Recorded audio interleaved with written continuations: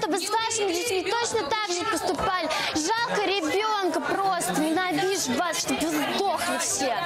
Чтобы вы сдохли все. Дианочка, Что такое?